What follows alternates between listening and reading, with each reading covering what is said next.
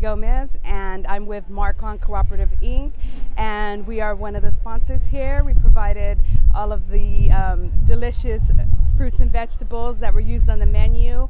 I feel the flavor experience is one of the great opportunities we have to collaborate with industry and to put um, produce kind of in the in the forefront of the menu, where everything's veg centric and it's no longer protein is main, and you know vegetables and fruits are are the main star.